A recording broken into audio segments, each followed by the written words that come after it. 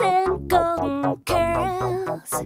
You could make grown men gasp when you go walking past them in your hot pants and high heels. They could not believe that such